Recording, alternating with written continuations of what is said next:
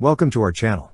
Don't forget to subscribe and put likes, because your support is important for us. And here we go. In a stride towards technological supremacy, the British Army has initiated trials of a groundbreaking mobile-directed energy system under Project Ealing, as reported by Gabriele Molinelli on X, Twitter.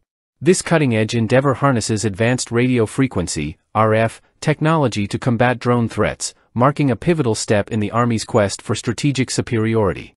Additionally, plans to deploy laser weapons by 2027 underscore the Army's unwavering commitment to enhancing its operational capabilities on the modern battlefield. At the heart of Project Ealing lies the innovative radio frequency cannon, meticulously engineered to detect, track, and engage a myriad of targets spanning air, land, and sea domains. Departing from conventional paradigms, the system boasts a sleek, compact design mounted on an HX60 truck, ensuring enhanced deployability and maneuverability in dynamic operational environments. Demonstrated alongside the 7th Air Defense Group at Thorney Island, the system showcases formidable capabilities in disrupting multiple drones simultaneously, employing potent RF transmissions akin to the renowned Epirus Leonidas system utilized by the U.S. Army.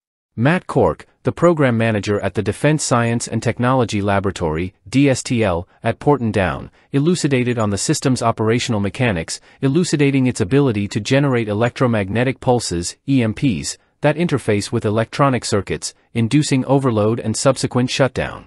This non-lethal approach offers a strategic advantage, enabling the temporary incapacitation of electronic systems without causing permanent damage, thereby mitigating threats posed by explosive-laden drones prevalent in contemporary conflicts.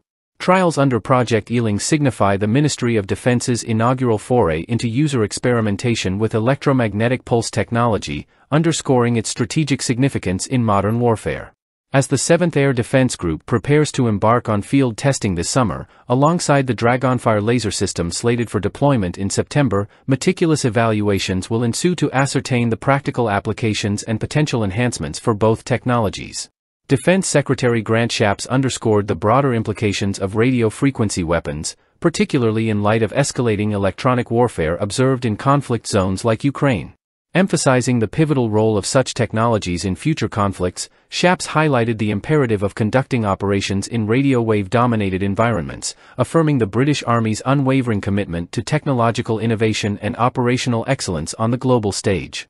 In essence, Project Ealing epitomizes the British Army's relentless pursuit of cutting edge solutions to address emerging threats, solidifying its position at the forefront of military innovation.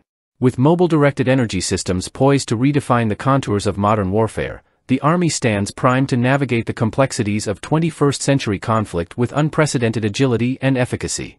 That's all for now. See you later.